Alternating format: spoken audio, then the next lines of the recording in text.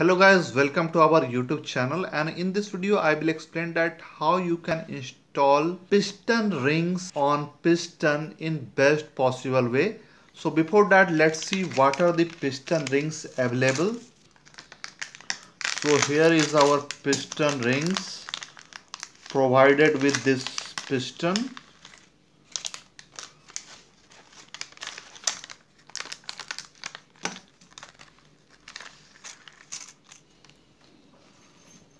so there are totally five rings.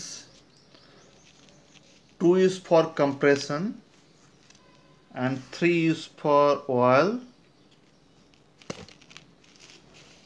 So there are totally five piston rings. These two are known as oil rings or oil rails. And you can see it is very very thin. You have to install it very very carefully and this one is expander or it is also known as spacer. So these three are for oil and last two rings are for compression. These are known as compression rings. And here you can see it's written top one and top two. Top one we have to fit in this groove. Top two we have to fit in second groove. And remaining oil rings we have to fit in this third groove. So this is the installation process. The most important thing which you have to note while installing that you have to keep this side top side on the top side. So this is very important. You can't put it like this in reverse way. No it's wrong.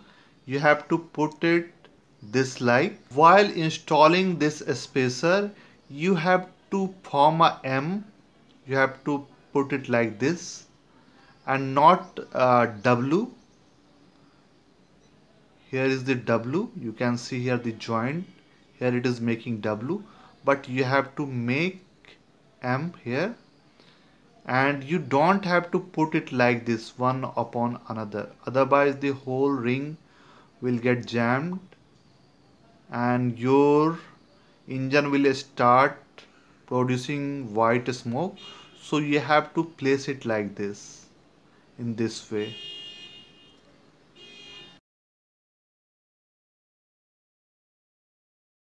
if you will see this spacer ring you can see here small elevations here so when you will put the oil ring here it should come like this like this and not like this. It should not be installed like this otherwise rings will get jammed. It should be like this. You have to take care of this point. This is the correct uh, method of installation and not like this.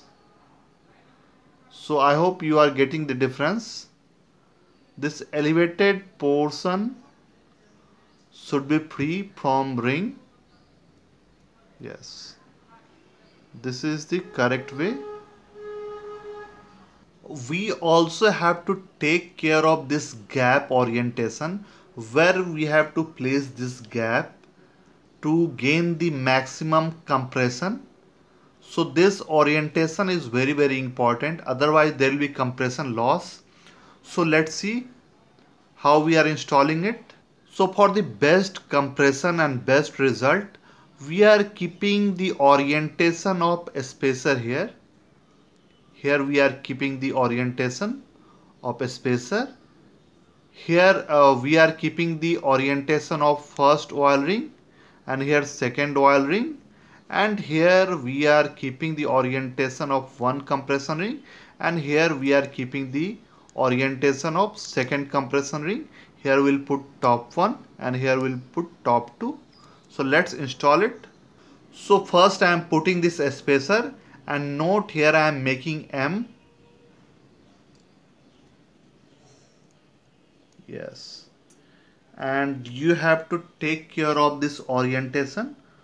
So here is my orientation here. S.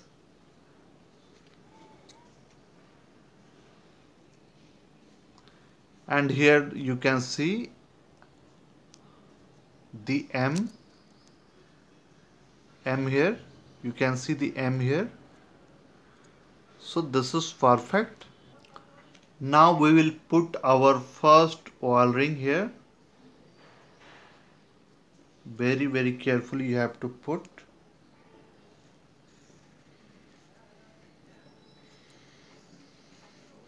And before installing rings it's best to lubricate the piston.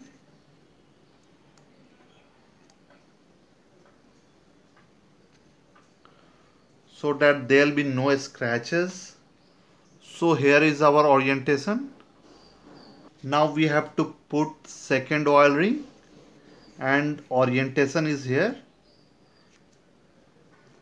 Here we have to put this gap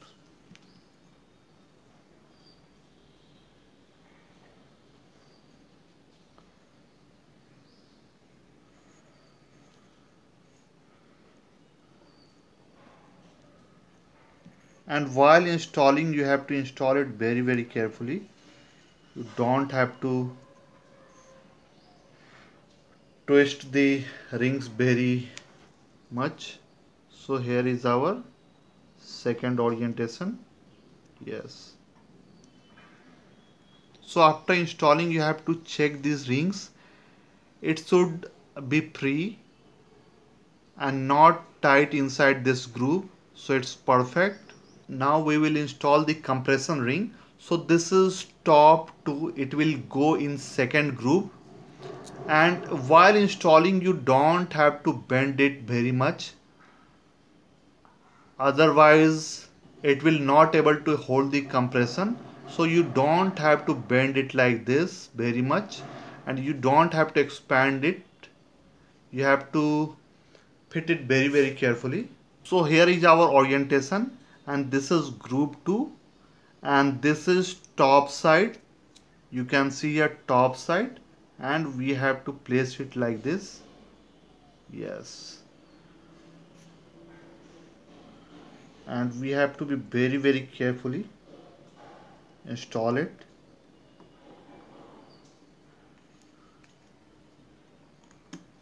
Yes it is perfect. And you can see the orientation here. Yes. It is at its correct place. And finally the last ring again it is top one and top side up.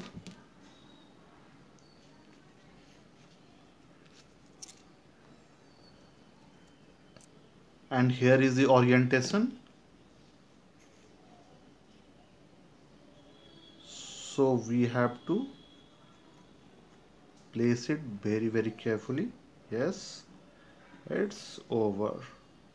All the rings are nicely placed. And after placing you have to check all the rings. These rings should be free in these grooves and not tightly fitted. You can see it is free. And when you are pressing it it should hide inside these grooves you can see all the rings are hiding inside the groove and no ring is coming outside. So it should hide inside the groove and if it is coming outside then it will cease while operation. So you can see here this is perfect.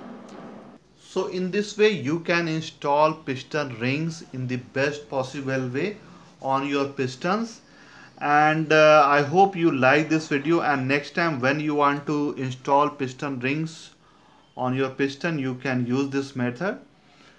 So please like this video share it among your friends. Please subscribe my channel and at last and don't forget to press that bell icon. So whenever I will make new videos knowledge related repair related you can get the notification and you can watch it. And at last thank you thank you for watching. We'll meet in next video